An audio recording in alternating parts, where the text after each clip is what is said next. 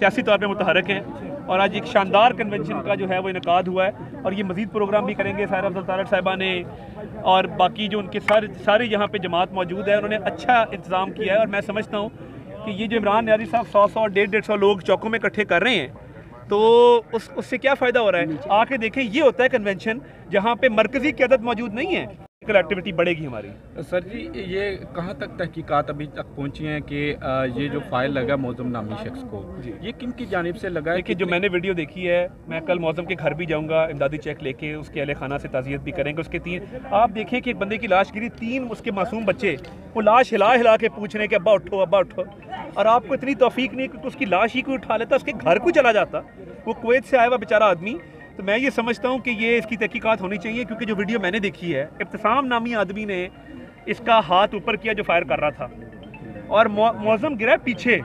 गोली का मुँह और ये पिस्तौल का मुँह उस तरफ़ है, बंदा पीछे से गिर रहा है तो उसको कोई और फायर लगा है। मौजम नामी आदमी, मेरा खदशा, और मुझे ये लगता है कि वो खान साहब के गार्ड की गोली से, या खान साहब के साथ जो लोग मौजूद थे, उसकी राइफल की गोली से मरा है। वो उस हमलावर की गोली से नहीं मरा। कि आपको हिम्मत नहीं होनी चाहिए कि फ़ौज की एक फ़र्शनास अफसर जिसने जिसने फ़ौज को इस मुल्क को 25-30 साल सर्विस दी है जिसने मुख्तलिफ़ महाजों पर जंगें लड़ी हैं जिसने इस मुल्क की सरहदों की हिफाजत की है आप आज नाम लेके उस मेजर जनरल को कहते हैं कि जी इसका नाम एफ़ आई आर में डालें।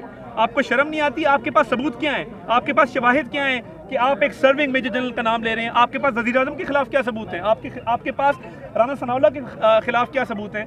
बात यह है परवेज लाई की हुकूमत है, पर्चा दर्ज हो नहीं रहा। और ये बंदा जो खुद कह रहा है कि मैंने मजहबी मुनाफरत की वजह से ये गोली मारी है, जो कि गलत है, इसकी मजम्मत होनी चाहिए, उसको सजा मिलनी चाहिए। आप उसको सियासी रंग दे रहे हैं क्योंकि आपके अंदर फौज का बहुत मौजूद है। आप फौज के इदारे को बदनाम करना चाहते हैं, ऐसा नहीं होने देंगे।